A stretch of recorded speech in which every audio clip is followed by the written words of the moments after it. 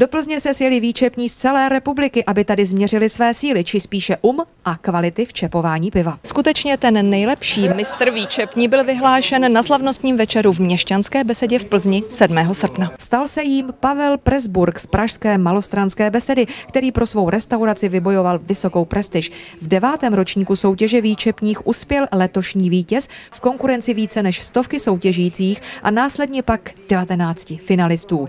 Vítěz je rodák z Plzně. V loňském ročníku soutěže byl bronzový a konkurence byla opravdu veliká. Jak se posouvá ročník za ročníkem ta, ta naše soutěž, tak nabývá na prestiži, nabývá na všeobecném povědomí, ti lidé si o tom mluví, takže eh, to zlepšování, ten, ten, ten průměr je každý rok od roku větší a větší. Vyhrát chtělo určitě všech 20 finalistů. Je to moje první soutěž, takže nervózní jsem byl hodně. Porota byla milá, byli hodný, takže to ze mě potom postupem času opadlo. Je opravdu pravda, že letos je hodně velká konkurence, že jakoby zná, že je tady hodně silné jádro, že vlastně jakoby ta soutěž zase postupila hodně jakoby dál.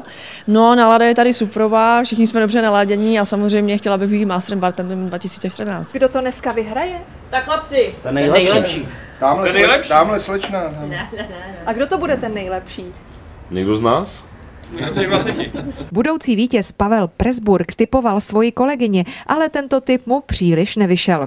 Nejlepší výčepní 2014 musel nejen prokázat své znalosti o pivě, o jeho historii i výrobě, ale především excelentně načepovat a pivo také naservírovat. To základní je, aby správně byla vymytá, eh, vychlazená, čistá sklenice, odmaštěná. Potom, když se přistoupí eh, k tomu samotnému čepování, tak ta pěna by měla být hustá, krémovitá, aby ten zákazník se těšil na to pivo, no a pak načepovat, eh, načepovat po tu pěnu pivo tak, aby se neprovzdušnilo, aby tam nebyly viditelné bubliny. Na slavnostním večeru v Měšťanské besedě byl také zvolen honorary konosér, tedy čestný znalec z plzeňského ležáku a tím je letos herec Ondřej Vetchý. Tímto titulem se v minulosti pišnil třeba Miloš Forman, Jaromír Hanzlík, Zdeněk Svěrák či Martin Straka.